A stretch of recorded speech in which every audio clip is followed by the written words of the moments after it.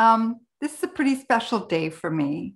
Yesterday, I received my um, certification as a brain health coach, and I'm now also a licensed brain trainer through the Amen University and in the Amen, Dr. Daniel Amen. So it's pretty exciting for me. Um, the reason I talk about that is because when I wrote my book, Don't Let the Memories Fade, I was focused on the idea of preventing dementia because of what had happened to my mom. My mom died with dementia a little over a year ago. And her journey is what inspired me to do everything I could to protect my own health and to share the information I learned as I was going through that process with others to help them prevent dementia. But it turns out that all the stuff I was doing and teaching is not just about preventing dementia. It's not just about caring for your memories or making sure you don't have brain fog or trouble concentrating. Everything that I've been talking about for the last number of years boils down to just good brain health, good physical health, good emotional health, and good spiritual health. All those together have to be in sync so that we have better lives, healthier lives, happier lives, better relationships, more success. So, doing these courses, and the reason I even talk about graduating is because it's a confirmation that it's not just about preventing something. What we're doing here by looking after our guts and our brains is protecting our mental health and our futures. So, anyway, it's a pretty exciting time for me. And even with technical glitches on Facebook and all of the other things that happen, hey, it's an opportunity to learn, and more learning is good for the brain, right? So um, today I'm here because several of my folks in the Prevent Dementia um, Facebook group, have, which I have now renamed to Boosting Boost Your Brain Prevent Dementia, um, they asked for help with gut issues because a big part of gut health, of brain health, is gut health. We have to have a healthy gut in order to have a healthy brain. So I've put together a course, but in, in advance of that, I'm also going to share just a short little, I think it's 13 or 14 minutes, a little webinar that I did or a PDF or a PowerPoint describing the things that you should maybe keep an eye out for and and watch in your own gut in how you're feeling because that could be an indicator of other issues in the brain in the body certainly heart issues many things can go wrong if your gut's not healthy. So I'm going to share with you right now this, uh, and I'll be back after you watch this Better Gut, Better Brain um, presentation.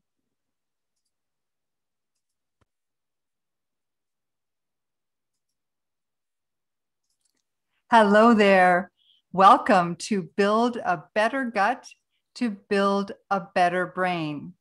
My name's Kate Kunkel, and I'm the creator of Brain Health Matters, which is a series of online educational events, programs, courses, and of course, my book, Don't Let the Memories Fade. And everything that I offer is here to help you look after your brain to protect your memories. Today, we're going to be talking about what the gut has to do with your brain. And frankly, just about everything. In fact, many people call the gut the second brain. And this has been known for a long time, although not recognized until recently in modern medicine. But Hippocrates even said that all disease begins in the gut. So, how do you know if you have an unhealthy gut? It's pretty obvious if you have a lot of stomach issues and digestion issues you can figure out mm, my stomach's not so good.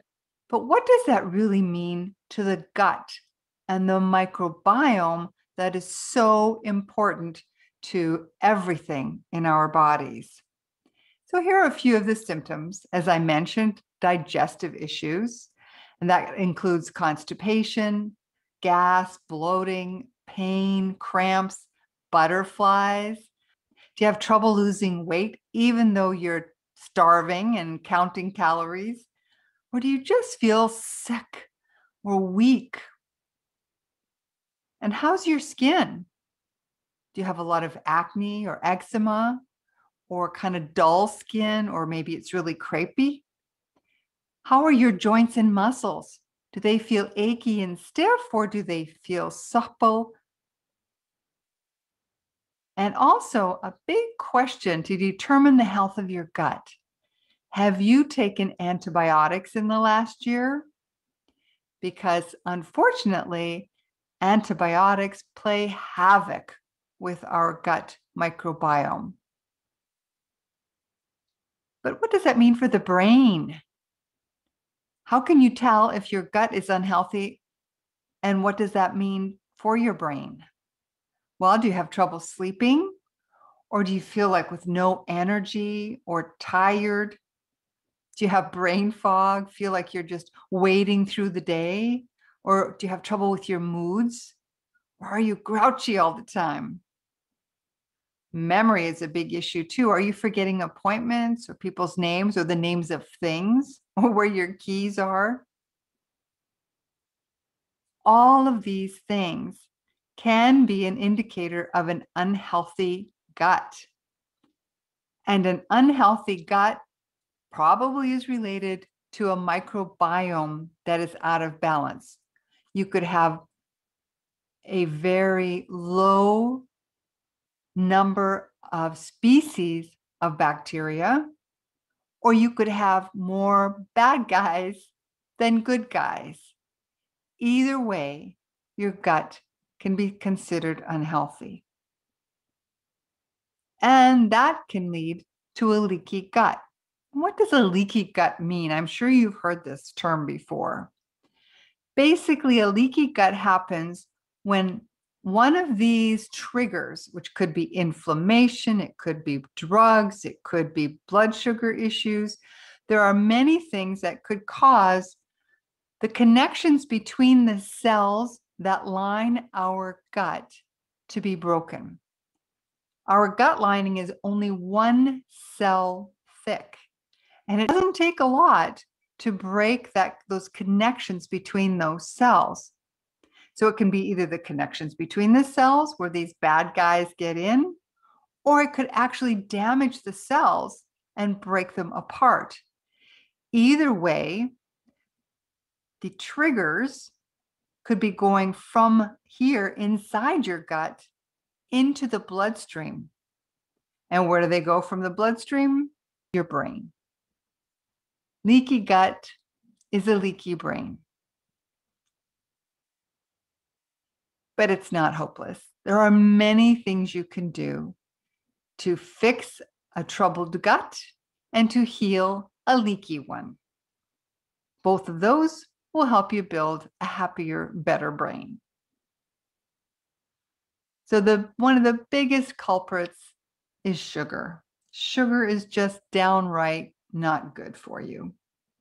All of those packaged cookies, pretzels, candies, sugar, donuts, they all work together to reduce the good bacteria in your gut and they feed the bad guys which puts your gut microbiome way out of whack. And that imbalance links to inflammation. And that's how that leaky gut happens. So that leads to mood problems, problems controlling yourself.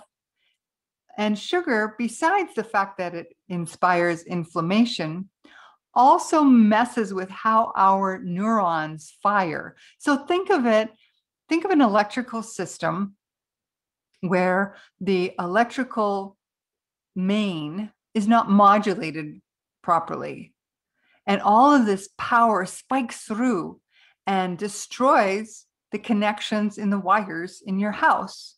Well, sugar can do the same thing to the neurons in our brains. But most people, well, many people anyway, are addicted to sugar. It's actually as addictive as cocaine. So we do have a sweet tooth, but we can satisfy that sweet tooth without ingesting processed sugar, fructose, high fructose corn syrup. Oh, the names, the names they give to sugar is incredible.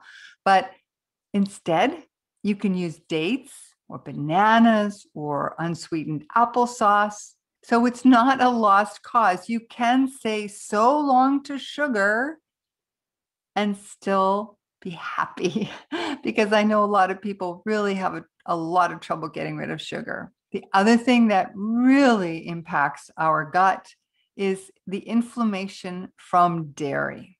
And I know that just recently there have been a couple of studies that come out saying that people who eat fermented cheeses actually have less likelihood of developing dementia. So those are good quality fermented cheeses like blue cheese and that sort of thing. Most people do not eat that. And most people's cheese is filled full of the antibiotics that come from the poor cows that are fed antibiotics because they're kept in such cramped conditions that otherwise they would get sick. So, generally speaking, dairy is not a good idea. Inflammation is the end result of pretty well all dairy products. And what does that cause? Leaky gut. So, what do we do? Because many people really feel they can't give up their cheese. I'm here to tell you, as someone who absolutely used to love cheese, that you can give up cheese. I know it sounds crazy, but you can. I make amazing dairy free cheeses, and I'll talk about those in the course that I'm doing on gut health. But you can do nut milks, you can do dairy free cheeses, organic oat milk is very popular these days, but make sure it's organic, and we'll get to the reason for that next. Going grain free, Dr. Perlmutter, many people have talked about the dangers of grains for inflammation. It actually disrupts the balance of gut bacteria, and that can lead to the leaky gut that we talked about before. Also, that inflammation helps uh, or inhibits absorption of the nutrients that we need. If you're inflamed, your, your gut can't utilize those nutrients that are in your food. So you want to do anything you can to avoid that inflammation. And it also interferes with the synthesis of neurotransmitters. So those are the things that send messages in our brain. So we want to try not to inhibit those. That's very important. So what can you do instead of having bread and bagels and and even baked goods? I make a lot of things with yucca flour or almond flour. Um, you can use lentil tortillas instead of regular wheat tortillas. And of course, corn has its own set of problems because of the genetic mo- modification. But you can also use vegetable pasta noodles. So you make noodles out of zucchini or carrots. There are lots of things you can do to avoid grain. Avoid processed foods. It is absolutely essential to avoid processed foods, especially those with artificial sweeteners like aspartame or Splenda or any of those, and food coloring. Food coloring is just simply not good. It's even they say about red dye number 40, that's only one. There are many, many more. MSG, that's a neurotoxin. Aspartame is a neurotoxin. They directly affect the affect your gut and your brain. So see all those colors that we have there on that image? Instead of getting them from packages, get them from the colors of the rainbow in your whole natural foods like carrots and beets and blueberries and strawberries and raspberries and red cabbage and green kale. You get the idea. And finally, this is something that people don't talk about very much. But you know, you see people using these acid reducing drugs because they're getting heartburn or whatever, because they're eating foods that are not good for them. Well, number one, our gut is pretty smart and it tells us when it's not getting fed properly, when it's being mistreated. And if you need to use acid reducing drugs to feel more comfortable after a meal, that's probably because your gut is telling you that's not the meal you should be eating. Acid reducing drugs, painkillers, many other drugs are terrible for your stomach, for your gut. So rather than popping some acid reducing drug, figure out what food is causing the problem and eliminate that. So, this is just a little hint of all the things that affect your gut. But it's a good start to, to really pay attention to these and to take the steps that I suggested in this presentation, because everything starts in the gut. When your gut's happy, your brain's happy, and most of your other organs too. So I'd like to invite you to join with me in a very cool program that I've been working on.